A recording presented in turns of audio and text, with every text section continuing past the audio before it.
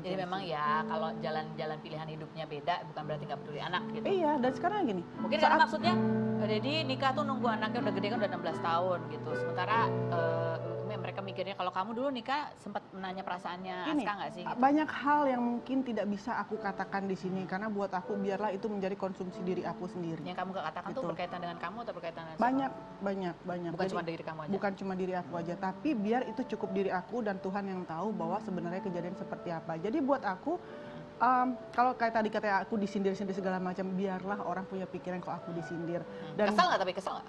Aku begini, sebagai manusia biasa ada ada saatnya di mana di mana yang aku ngerasa gini, kok netizen banyak banget jadi kayak yang ngepus ngepus dan nyala nyalain aku gitu kan. Aku manusia biasa mbak, yang ada rasa ini orang yang sebenarnya nggak ada masalah, jadi dibikin masalah gitu kan. Kita aja aku sama papa anak aku tuh nggak ada masalah. Nah sekarang kayak gini, orang pasti mikirnya, oh mau diundang di Rumpi cuma karena buat ini ini ini ini. Aku pikir aku mereka juga nggak tahu kan sebenarnya aku diundang di sini aku menerima itu pasti juga ada karena untuk menjelaskan sesuatu.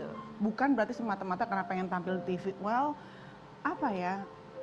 em, aku juga nggak lagi kepengen banget untuk tampil di TV hanya untuk kayak dengerin gosip atau segala macam gitu. Jadi jadi semua gini.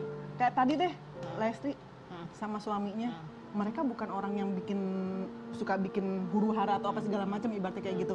Tapi tetap aja ada ada omongan jelek, ada bulian. Intinya sebaik apa pun kita sebagai orang yang dikenal sama publik itu tidak akan luput dari omongan yang jelek dari Oke. netizen. Jadi kamu nggak bisa ngatur lah omongannya. Nggak bisa lah. Tapi kalau kesel mah manusiawi gitu ya. Tapi kalau ada hal yang perlu kamu jelaskan, ya kamu jelaskan di sini karena kalau tampil di TV yang dengerin banyak gitu daripada jawabin satu-satu. Gitu. Oke, Ring Trivita atau fakta? Kalau kamu syuting fo- foto ala-ala prewedding bikin konten YouTube judulnya ambigu itu supaya netizen kepo dan klik buat nonton konten itu.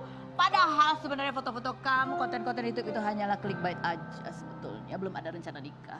Fitnah atau fakta? Lu nanya siapa sih? Ini, ini. Eh, Sih. itu itu fakta sih. Fakta. Fakta. Oh, ya. Sebenarnya waktu itu kita di sana tuh ada endorse. Ah, ah. Kebetulan juga ada acara juga waktu itu di Bali. Ah, ah, ah. Ada acara di Bali, ada endorse juga buat eh, foto baju adat. Karena kita juga suka sama culture Bali. Mungkin kalau Kalina sendiri yang ke sana atau aku sendiri yang ke sana juga kita juga bakal foto itu. Cuman kebetulan karena kita berdua datang jadi kita kapal. Ya, bisa lah dari konten gitu ya. Itu itu untuk parfum gue sebenarnya. Oh. Untuk foto video parfum gue, cuma sampai sekarang belum aja dikeluarin. Oh, ya terus tapi sebenarnya kamu tuh udah ada rencana apa sih sama Kalina? Ya untuk saat-saat ini sih nikmatin aja karena biarin kita napas dulu deh. Napas. Banyak omongan dari kanan kiri depan belakang bilang kapan nikah nikah nikah nikah padahal kita kan butuh waktu pengenalan. Oh gitu. betul betul, nggak usah buru-buru juga ya. Nah, kalau kamu? Sama, ya? sama. ya.